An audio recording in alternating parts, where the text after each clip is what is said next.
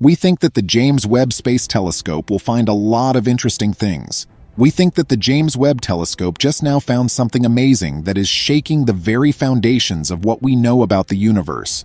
We no longer know how the universe works because of this finding. As scientists update their theories, they find hidden cosmic secrets and see worlds that are beyond our wildest dreams. The Webb Space Telescope's most recent discovery has the scientific community on fire with excitement. With each observation, this state-of-the-art telescope takes us back in time and reveals new information about how the world came to be. What kind of thing could the huge item that Webb recently found be? How will this new information change the way we think about the universe and its mysteries? Let's find out. One of the most important things about the Webb is that it can look very far into the past showing us the first stars and galaxies being formed. It helps scientists get a good look at the atmospheres of exoplanets where life could exist, and at the strange features of black holes that are spread out in the universe. Black holes are strange cosmic forces that are made when stars explode. Their gravity pull is so strong that not even light can escape it. When an event horizon hits a black hole, it changes the shape of space and time. This area, the event horizon, is known as the point of no return, and it goes against the rules of current physics. Even though black holes are fairly new, the theory of relativity gave hints that they might exist before they were actually found. The theory says that spacetime can be bent by masses that are dense enough to make the strange shapes we call black holes. Black holes were once invisible, but their natural gravitational pull on the matter around them makes them obvious. Different types of high-tech devices are used by space satellites, especially the Webb, to find clear signs that black holes exist. Scientists can figure out what a black hole is and how it works by watching how the stars and gas around it act. In particular, they study how close stars are affected by gravity to find out if they orbit or are pushed away by the strong gravitational pull. With its cutting-edge tools and unique features, the James Webb Space Telescope basically helps us look deeper into the world to find answers to problems that we thought were impossible to solve before. A black hole and a star send out a lot of high-energy radiation as they get closer. This makes the scene in the galaxy very bright. Even though black holes have a huge effect on the matter around them, they have a strange quality. The theory of relativity doesn't say how to measure their dimensions. This is because anything that gets too close to the black hole will be destroyed by its strong gravity. The no-hair theorem adds to our understanding of black holes. It says that a black hole only has three qualities that can be measured. Mass, electric charge, and angular momentum once it becomes stable after it forms. Black holes are simple, but their complexity is hidden by their simplicity. This is why it is hard to tell them apart, even if they have the same physical properties. By looking at the different kinds of black holes, we can see that they are a large family with many unique traits. The first type of black hole is one with the mass of a star. This group is the tiniest. It weighs between 1 and 100 times the Sun's mass. The supermassive black holes are on the other end. They are millions or even billions of times heavier than the Sun. Scientists think that supermassive black holes with more mass than 1,000 suns were formed when huge stars died off in the early universe. There are black holes in the middle rank that are somewhere between star and supermassive black holes. Also, not like most people think, some black holes are pretty small, almost as small as an atom. I agree that it is hard to think or believe that supermassive stars can be so small, but still have such a huge mass, even more than a whole mountain. It doesn't matter what, this is the truth. As you look out over the Milky Way, you can see that the universe is full of black holes, each with a mass of millions of solar masses. Large black holes tend to stay in the middle of galaxies, including our own Milky Way. This is based on both theory and fact. Sagittarius A is a giant black hole in the middle of the Milky Way. It has the same mass as about 4 million suns, which makes it the biggest object in its area. Scientists have been interested in black holes for decades because they are very complicated. This is why they are the subject of more and more study, it is possible to test many ideas that have deep roots in general relativity and the quantum domain in these strange structures. They have also led physicists to new areas of physics that haven't been explored before. This has given our current understanding of how the world works a good test of its validity. The more we learn about black holes, though, the better we understand them as our technology and ways of observing them improve. We don't fully understand black holes, though, because we can't see them directly. Since stellar mass black holes get very hot, billions of Kelvin hot, exploration can only be done indirectly using ideas and methods that don't involve direct methods. As we already said, the event horizon is what makes black holes so interesting. It is a line in space-time where nothing, not even light, can escape. That is the most basic thing about black holes.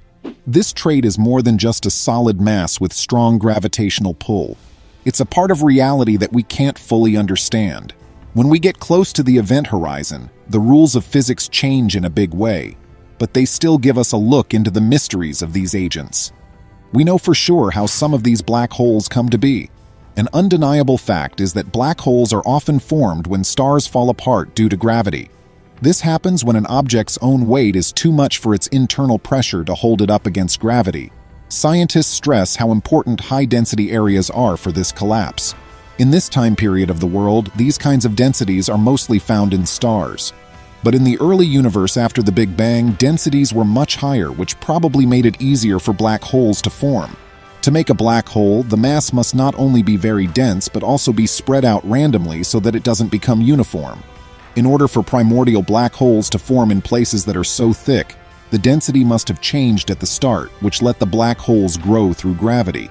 But gravity collapse isn't the only way that black holes are made. High-energy collisions can also make black holes if they get dense enough. But as of 2022, mass imbalances in particle accelerator tests have not directly or indirectly shown that this has happened. There are many interesting things about black holes, but the most interesting thing is how they change over time. They don't have set sizes, and by eating the stuff around them, they can keep growing forever. In order to stay alive, all black holes eat gas and dust from space, which causes them to grow exponentially. Another important quality that makes some supermassive black holes possible is this power. It has also been suggested that this process could be one way that intermediate black holes can form in globular groups. Black holes can also join with other things, like stars or even other black holes, to make a huge black hole. Black hole development is still being studied, and now that the James Webb Space Telescope is up and running, we will be able to find out even more. But there have been worries that a black hole could hit Earth and destroy it. But these worries are no longer valid thanks to experts who never give up.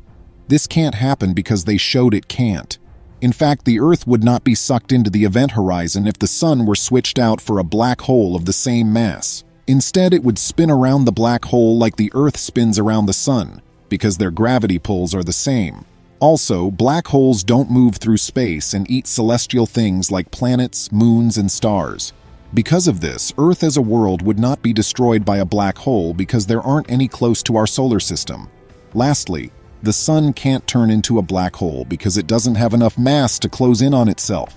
Going back to the James Webb Telescope, scientists using this amazing telescope have just made an amazing discovery that is shaking our understanding of the universe to its core. What huge, strange thing did they find in the depths of space? We'll have to wait for more information about this finding that is changing everything we thought we knew about the universe. This high-tech gadget, the James Webb Space Telescope, can not only see close celestial objects, but it can also find things from a very long time ago. About 400 items in the near sphere of our solar system that were not known before have been found. This is the latest success. The scientific community is very excited about this discovery, which shows how much the telescope has changed our knowledge of the universe. Remember that Earth, stars, and galaxies are spread out in space and make up only about 5% of the universe. There are probably a lot of other possibilities deep in our world that we don't know about. This is a fact. As it stands, the James Webb Space Telescope is a major force that is shaking things up and revealing secrets one puzzle at a time.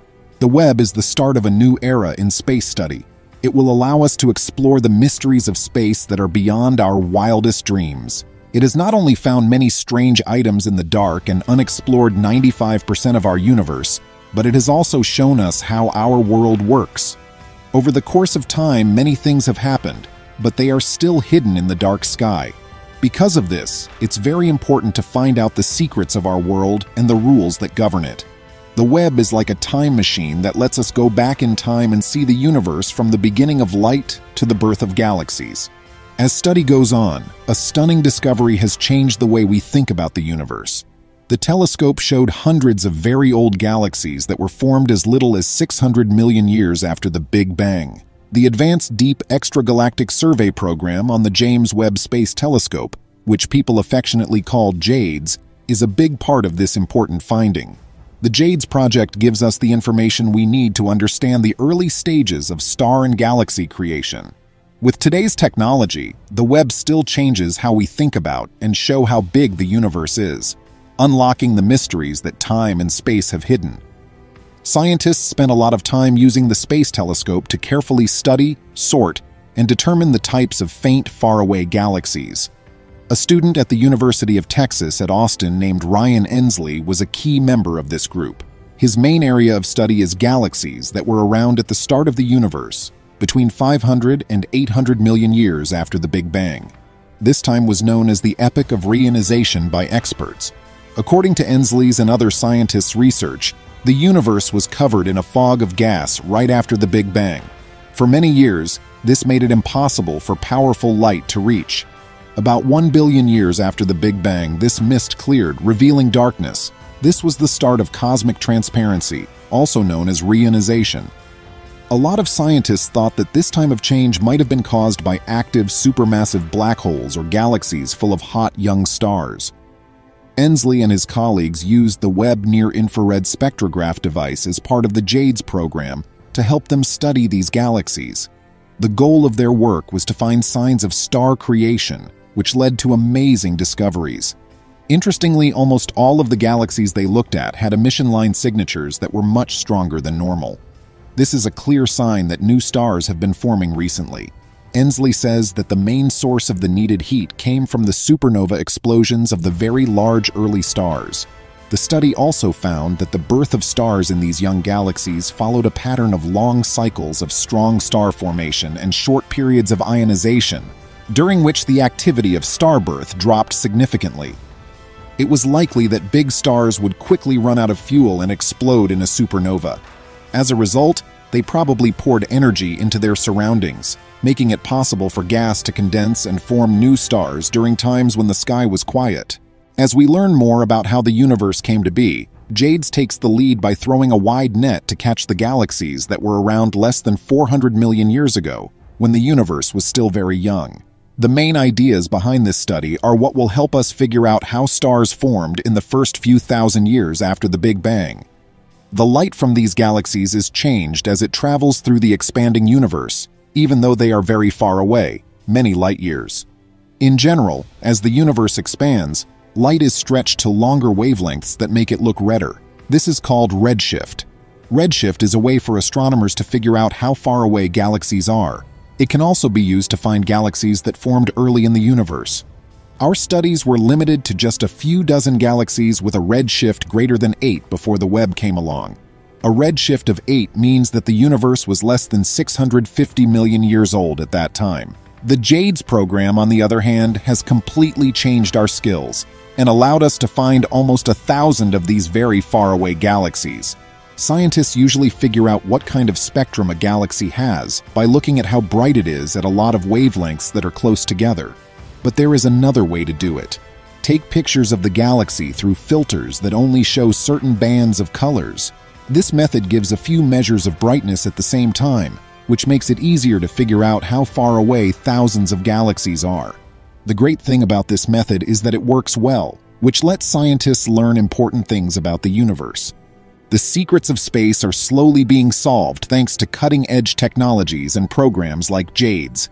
This gives us a unique look into the early stages of how our universe formed. Also, Endsley wasn't the only professor who worked on the project. The near-infrared spectrograph was also used to take readings by Kevin Harrington from the University of Arizona in Tucson. It was possible to find over 700 galaxies that were active when the universe was 300 to 650 million years old, thanks to these readings, which are called photometric redshifts. The scholarly community around the world was shocked by this new information. The sheer number of these galaxies was much higher than what was expected, which shook the roots of what had been seen before. Before Webb was launched, scientists didn't know much about how these faraway galaxies changed over time. But the Webb has broken new ground by showing us views that the Hubble telescope had not been able to see before. The telescope has found new objects in space and scientific wonders. It has also been used to find exoplanets and other space objects that might have signs of life. The call to look for life on other planets can be heard in the area of experts who work. Since it was launched, the James Webb Space Telescope has been putting out amazing pictures all the time.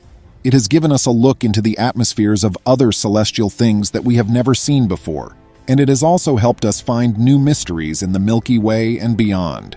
These discoveries include the exciting chance of life on Proxima Centauri b, which is also called Alpha Centauri cb. This could be the site of the first colony outside of our solar system. This secret discovery is the kind of guesswork that gets people thinking, and this exciting event represents the Webb's mission.